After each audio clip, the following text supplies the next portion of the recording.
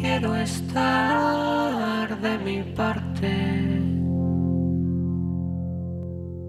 No puedo más pensar en mí. Soy David Rico, soy un artista interdisciplinar o transdisciplinar, según cómo se mire. Me he dedicado bastante a, a las bellas artes, a las artes escénicas sobre todo, pero siempre como con un trabajo que hibrida pues, todas las facetas que puede tener un montaje escénico. Cuando vi la convocatoria de Enclave, vi que encajaba perfectamente el proyecto que en ese momento, tanto a nivel personal como con un colectivo que hicimos, que generamos hace dos años, estábamos trabajando, que era, se basaba un poco en la idea de utilizar la tecnología para generar un dispositivo multimedia a través de las plantas y poder trabajar con, interviniendo espacios naturales o plantas para generar un discurso donde la tecnología y la naturaleza se acercaran y poder bueno, generar una propuesta de artes vivas que se llama ahora o más performática, donde pudiésemos tener un diálogo activo sobre el lugar que ocupamos que ocupa la naturaleza en relación al ser humano ahora mismo, lo mismo con la tecnología y cómo podemos acercar, digamos, esos dos lenguajes.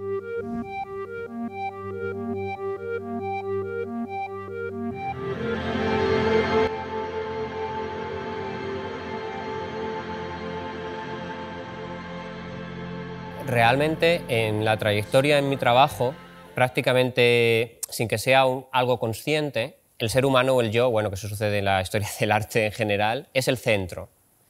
Eh, la identidad, eh, el porqué, han sido unos temas que tienen que ver con el individuo y con el ser humano que han formado parte eh, central de las propuestas que he ido desarrollando en los últimos, a lo mejor, casi 10 años. Pero sí que es cierto que en los dos últimos proyectos ha surgido como una necesidad de descentralizar el yo, de quitarle importancia, incluso de desaparecer, para intentar encontrar el verdadero lugar que a lo mejor tiene el ser humano en el mundo. Y eso tiene mucho que ver con la naturaleza, porque al descentralizar el ser humano y al quitarle importancia, lo que gana importancia es el entorno, es el lugar, es lo que sucede alrededor.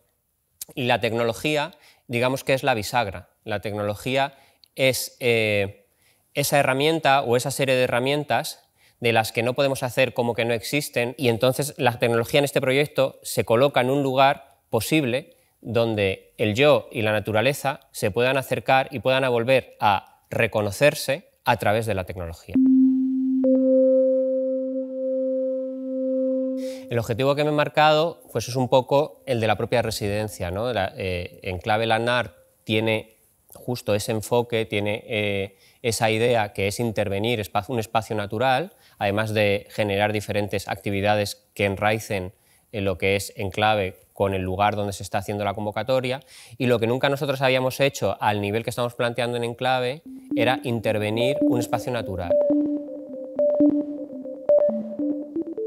No tengo muy claro hacia dónde va, la verdad. No hemos dejado de, de, de, tener propuestas o de poder generar lugares donde seguir trabajando, investigando, ya sea más cerca del performance, del arte contemporáneo, de la instalación, o interviniendo un teatro a la italiana con unos medios eh, mastodónticos donde las plantas controlan todo. El golpe, la caída, el. Los proyectos de Enclave, la verdad es que son muy heterogéneos, pero creo que todos tienen como punto de unión el entorno en el que se está haciendo, ¿no? la Valle de la Gallinera, y de alguna forma todos han tenido como finalidad eh, involucrar, aparte de la gente que vive en la Valle, o a las plantas que viven en la Valle, o a las cosas que suceden, digamos, en la Valle de Gallinera, y creo que ese es el punto en común realmente entre todas las piezas, que todos estamos intentando conocer este lugar, intentando saber qué, qué, pasa aquí, qué lo hace especial, cómo, cómo, está conformado y tenerlo en cuenta a la hora de generar los trabajos que estamos haciendo. ¿no? No puedo más pensar en mí. Hombre, pues me llevo aprendizaje, me llevo además haber conocido un lugar que no conocía, donde creo que gracias a esta residencia hemos llegado a entender en profundidad el funcionamiento de la BAI o a, o a empezar a entender el mecanismo de la BAI, cómo se ha ido cambiando a través del tiempo eh, de la gente que vive aquí, de la gente que vivía eh, y del entorno. Bueno, y dejar no sé lo que dejo. Yo, pues yo intento siempre, por lo menos, generar una inquietud, una pregunta de una forma amable, de una forma no agresiva, pero activa, en el, en, el, que ve mis propuestas o en el que forma parte y espero haber incluido en una sensibilidad eh, pues a la gente que, ve mi trabajo, ¿no?